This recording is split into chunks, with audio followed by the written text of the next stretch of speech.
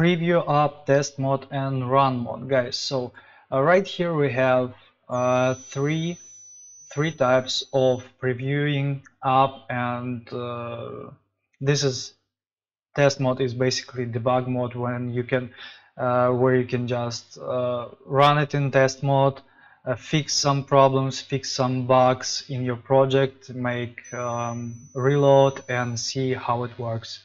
So let's start from the beginning. Preview app, I have have it here already preloaded.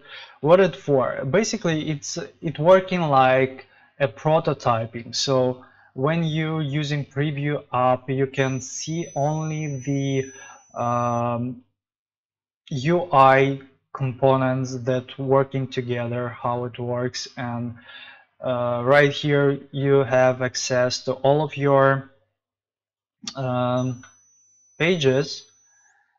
You can check how every different component work, but the one thing that preview app is uh, not working with database data. So basically this is just uh, interface interactions that, that you can uh, check in the project. Uh, this is good for prototyping when you building just a prototype from the design that you had from uh, designer. For example, you have something uh, all the in, all interface in Figma and you need to build it in inside Flutterflow. You can just quickly check it in preview app. Also, you have canvas sizes here. You can see how it works with different uh, screen sizes the same thing that we have on the scaffold in our project you can just drag everything that you need you can uh, use basically yeah display keyboard the same thing how works everything and you can share the preview app to other people so next thing is test mode.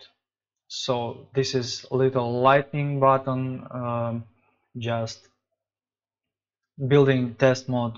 It looks like this.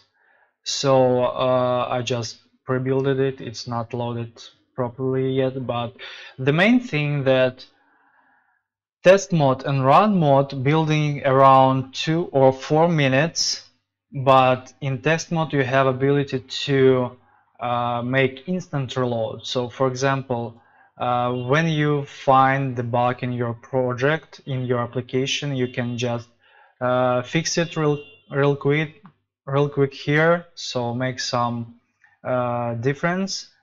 And then you click in instant reload.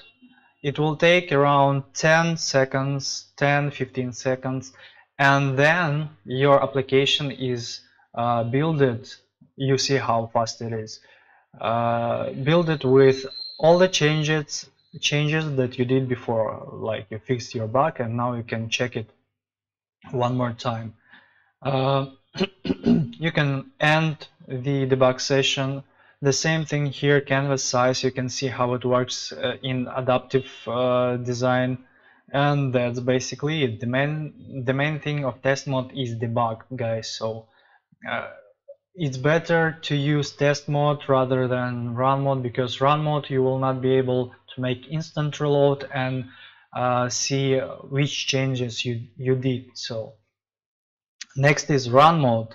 So let's talk about this is uh, the build that lives uh, forever. So for example you can copy this link and if you have presentation of your project you can just uh, use this link just paste it into your browser and uh, you can use your, your application almost like in uh, like on the device. So basically you are you are not able to make some um, fixes. So you can fix it in project but you will not be able to reload it to uh, see all fixes. You need to use uh, test mode for that. Uh, right here you just um, can see how your application working well one more thing test mode and run mode working with database connections. So all the information that you have in your database will be shown here. So that's it. That's all we have with our debug mode, test, run, and preview app mode.